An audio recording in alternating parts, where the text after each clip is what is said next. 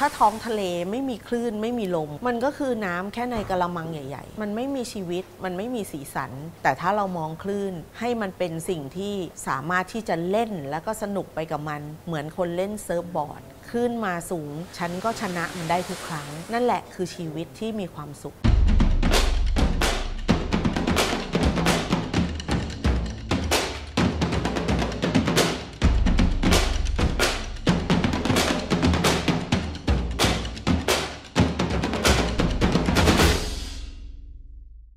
ที่ร้าน Rosemary by มาดามตวงค่ะทำไมวันนี้ถึงมาเปิดร้านอาหาร ชอบการทำอาหาร รักการทำอาหารมาตั้งแต่เด็กจำได้ชัดเจน พ่อซื้อซีฟู้ดมา พ่อบอกว่าเดี๋ยวเราทำกินกัน แต่ว่าทำน้ำจิ้มด้วย ลองผสมตามจินตนาการปรากฏว่ามันเป็นน้ำจิ้มซีฟู้ดที่คนทางบ้านน่ะชอบ แล้วบอกว่าอร่อยทำให้พี่รู้สึกว่าความสำเร็จเล็กๆอะมันทำให้เราเกิดความสุข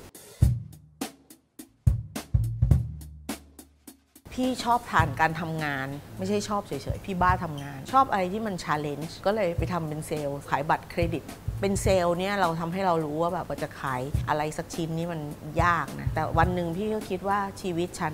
มานั่งขายบัตรเครดิต มันก็ไม่ใช่ไหม พี่บอกพ่อว่าพี่จะเปิดธุรกิจเอง พ่อบอกว่าเธอจะบ้าเหรอไปเปิดธุรกิจแล้วเธอจะเปิดยังไง ถ้าหาเงินไม่ได้สักบาทอะจะกินอะไร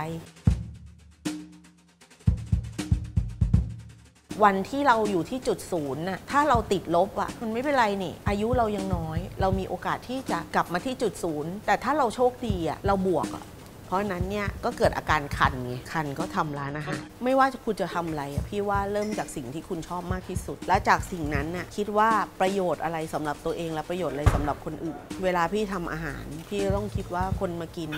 นอกจากความอร่อย เขาจะต้องได้อะไร ไม่ใช่ว่าพี่คิดว่าพี่จะได้กำไรเท่าไหร่ พี่กินที่เนี่ยมันคือครอบครัวของพี่ก็กิน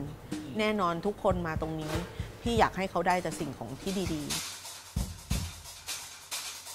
อาหารคือภาษาสากล ไม่ว่าคนนั้นรวยจนขนาดไหน ทุกคนล้วนไม่ปฏิเสธอาหาร